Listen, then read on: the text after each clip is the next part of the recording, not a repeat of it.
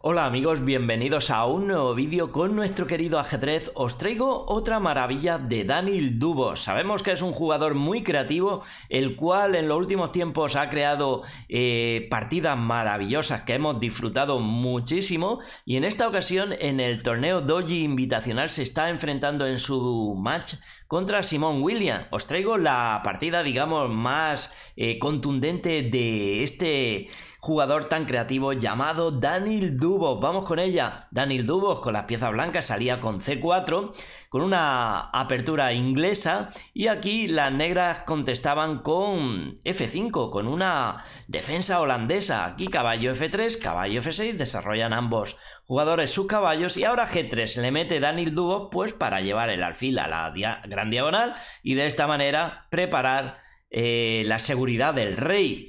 Las negras han continuado con D6 y D4, controlando Daniel Dubo muy bien el centro con sus peones. Una posición bastante buena para ambos. De hecho, aquí todavía no pasa nada. Aquí las negras han jugado E6 y alfil G2 llevando el alfil al fiancheto. Alfil E7. Ambos jugadores tienen preparado ya el enroque. Así que ponen bien seguro a su rey, ejecutándolo.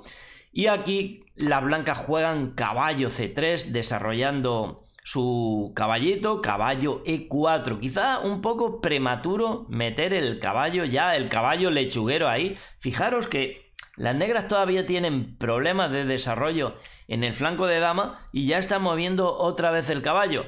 Eso en muchas ocasiones no es nada bueno. ¿Qué hace Daniel Dubos? Pues dama C2, ataca dos veces al caballito con su caballo y con su dama, así que quiere ganar un peón. Por lo tanto, lo que hacen las negras es cambiar primero, caballo por C3, y fijaros que ya este caballo ha dado tres movimientos, y esto no es buen, digamos, buen presagio. Aquí parece que lo más estratégico es dama por c3, capturando a este caballo y conservando la buena estructura de peones. Pero Daniel Dubo, que es un jugador muy creativo, como todos sabemos, captura con el peón, permitiendo así tener un par de peones doblados en la columna C. También se ha abierto la columna B. La partida siguió con caballo C6, tienen que acelerar ese mal desarrollo del flanco de dama las negras y ahora C5, una jugada increíble, porque está entregando básicamente un peón y no se ve la manera de recuperarlo rápidamente. Aquí Simón captura y claro, no sería bueno capturar porque si capturan con E5 las negras se quedan con todo el centro de esta manera y este peón es muy débil y además el de C3 es también muy débil. La estructura de las negras sería muchísimo mejor con dos isletas de peones eh, bastante sólidos. Por lo tanto, eh, las negras estarían bastante bien. Pero Daniel Dubos, que como sabemos es un jugador creativo, no captura aquí, no. Eh, ha hecho esa jugada, pero para meter presión sobre el, digamos, la posición negra y juegan torre de 1. De esta manera ya están amenazando por rayo X a la dama. Aquí Simón la quita, dama E8 y ahora torre B1. Fijaros cómo las blancas ya están desarrollando también su torre por la columna abierta, impidiendo que este alfil se desarrolle, porque si no, el peón de B está tocado y el desarrollo blanco es bastante mejor a cambio de ese peón.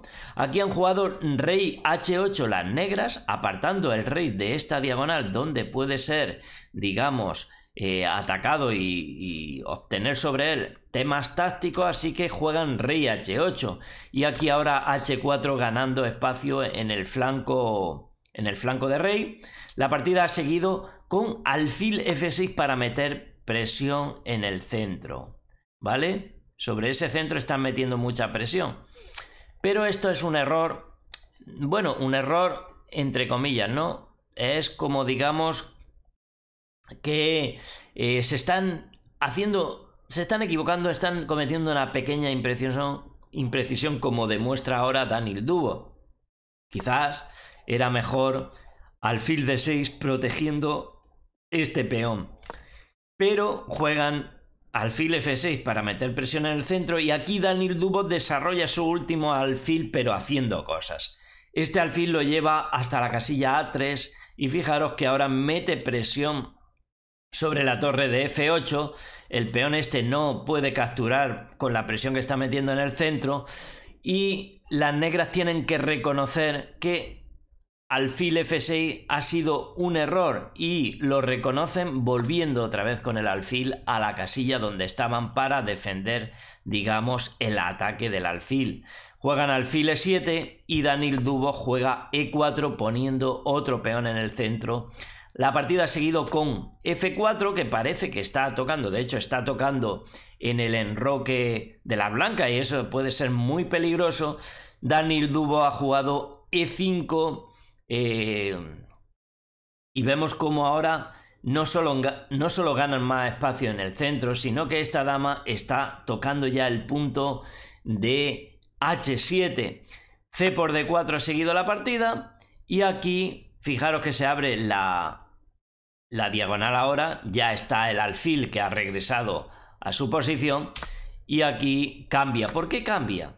Porque este alfil, eh, aparte que está atacando este, lo que quiere hacer Daniel Dubo aquí es quitar la defensa sobre el punto G5, que parece que no es importante, pero sí.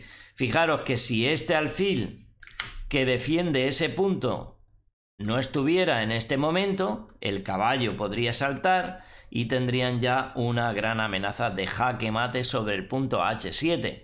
Por lo tanto, dice, eliminamos ese alfil, tras alfil por E7, dama por E7, ha capturado Dubo en el centro, Primero, C por D4 y ahora las negras cometen un error y es atacar a la dama. Juegan caballo B4. Pero esto es un error como demuestra Daniel Dubo al jugar eh, caballo B4. Daniel Dubos tiene aquí un sacrificio bastante bonito de calidad. Torre por B4 tranquilo, obligando, desviando a la dama de la defensa de la séptima fila. Y entonces, tras torre por B4, las negras han capturado, torre por B4, y ¿qué pasa? Que ahora sí el caballo tiene la casilla G5 libre de toda, de toda probabilidad de que eliminen a este caballo. Caballo G5, amenazan directamente el mate en H7, y aquí han jugado G6. Esto es un error muy grave ya. Todavía las negras aguantaban en esta posición, devolviendo la calidad, zampándose con la torre este caballo. ¿Cómo? Pues con torre F5. Fijaros que ahora la torre impide que la dama entre en, en la casilla crítica del jaque mate. Y ahora, por ejemplo, si G4 atacando a esta torre, para que obligarla a que se vaya y provocar el mate, pues las negras todavía, digamos, patalean con el sacrificio de torre también, devolviendo la calidad a las blancas. Torre por G5, ¿vale? Entonces aquí tienen más probabilidad de sobrevivir. Pero la jugada que eligen las negras, que es G6, que parece lógica porque impiden el mate, y le dan un respiro al, rey, pues resulta que falla por la siguiente jugada de Daniel Dubo, que ya seguramente la tenía vista. Una jugada sencilla como dama por C7 y las negras se rinden porque no hay manera de evitar el jaque mate. Bueno, de momento pueden entregar todo el material del mundo mundial, pero el jaque mate va a llegar hasta H7 con la coordinación de caballo y dama. De una manera muy sencilla, Daniel Dubo, sobre todo con ese sacrificio de peón, primero lo dobla. O sea, es, es increíble cómo lo hace este chaval, porque primero dobla... Vamos a ir ahí, que es muy interesante. Primero se deja doblar aquí estos peones y luego ataca entregando el peón de C. O sea, esto es mm, una jugada eh, muy creativa, aunque no lo parezca. Tras la captura, no recaptura para no dejarse debilidades y luego le va a meter presión sobre la torre y, y bueno, es que es increíble cómo llega tan rápido a una posición ganadora. Flipante. Y aquí cuando abre la diagonal ya está. Solo tiene que eliminar al alfil.